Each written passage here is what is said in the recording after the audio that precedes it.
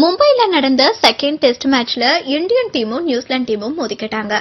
இதுல first இன்னிங்ஸ்ல Indian team முன்னூத்தி இருபத்தி அஞ்சு ரன் எடுத்தாங்க. நியூசிலாந்து டீம் அறுபத்தி ரெண்டு ரன் எடுத்தாங்க. இந்தியன் டீம் சார்பில் மயங்க் அகர்வால் சூப்பரா ப்ளே பண்ணி நூத்தி ஐம்பது ரன் எடுத்தாரு.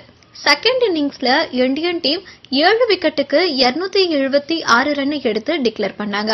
அதுக்கப்புறமா ஐநூத்தி நாற்பது ரன் எடுத்தாதான் வின்னு அப்படின்ற கோலோட செகண்ட் இன்னிங்ஸை ஸ்டார்ட் பண்ண நியூசிலாந்து டீம் நூத்தி அறுபத்தி ஏழு ரன்னுக்கே சுருண்டுட்டாங்க.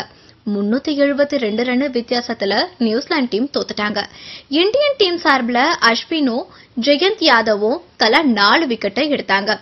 இந்தியன் டீம் ஜீரோக்கு ஒன்னு அப்படின்ற கணக்குல பாயிண்ட்ஸ் எடுத்து கப்பை வின் பண்ணிட்டாங்க.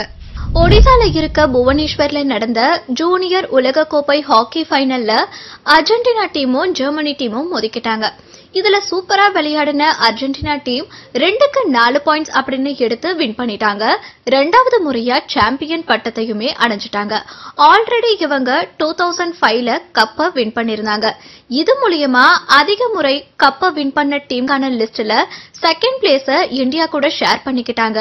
ஃபர்ஸ்ட் பிளேஸ்ல ஆறு முறை கப்பை வின் பண்ண ஜெர்மனி டீம் இருக்கு. கோவால இந்தியன் சூப்பர் லீக் கால்பந்தோட எட்டாவது சீசன் நடக்குது.